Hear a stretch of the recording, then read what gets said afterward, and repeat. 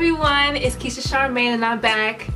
Before I get into the loc talk, I want to show you guys my hair. You'll see it better in another video. I'm going to recreate this hairstyle. This hairstyle was done for the Dark and Lovely shoot. Once I have the photos from the shoot, I'll definitely have the pictures on my website and on my Instagram. So make sure you check out my website, KeishaCharmaine.com and follow me on Instagram at Killa Does That. To date with my latest photos and everything that I'm doing, okay? And I just really love this hairstyle, but I'm sure it's gonna be so easy to recreate.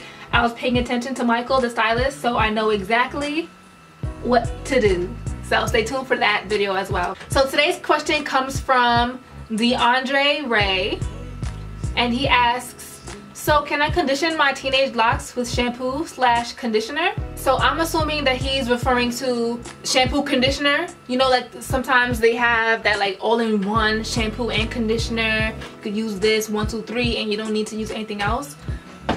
If that's what you're referring to DeAndre, then I personally wouldn't recommend shampoo conditioner to anyone, period. And the reason why I say that is because one, I just don't believe that a shampoo conditioner can really shampoo and condition effectively.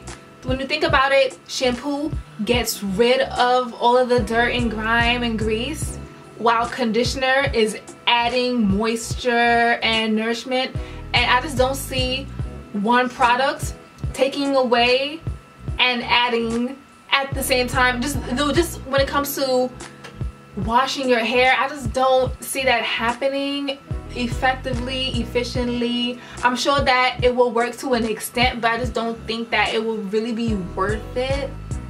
But maybe that's just my opinion. I am not a professional keep that in mind. When i give you advice is from my personal experience and from my personal research. So if you feel like my opinion is not good enough then definitely you know seek knowledge on your own do your research and speak to professionals. But in general I would not recommend conditioning with conditioner immature teenage locs. And the reason is because your hair is not locs yet. Most conditioners add that slip. That's the word I'm looking for. It adds a slip to your hair which can basically detangle your locs. And when you're forming your locs you don't want detangler because you actually want your hair to tangle. That's kind of the point. It's kind of what this is. This is a rope of tangled matted hair. So you wouldn't want to put any products in your hair that will take away from that process. And I that's my personal opinion and that's that's opinion it's a very common opinion around along the board. So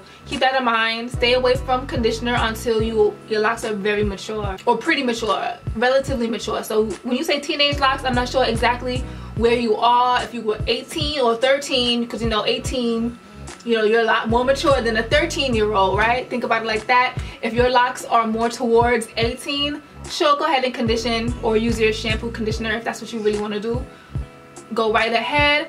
I if I remember correctly I didn't condition my locs until um late in my year. Like I didn't wait a whole year but maybe like towards the latter part of the year I used conditioner. But um earlier in my loc journey. I did try conditioner but I made sure to do it with a stocking cap on to make sure that my hair was safe and secure. So you can try that as well if you really want to condition if you feel like your hair is really really dry and brittle and you really want to, to add moisture try that. That that that, that can reduce the slip. Make sure you retwist right afterward. I hope this helps. Make sure you like comment subscribe and share. Love light and Locs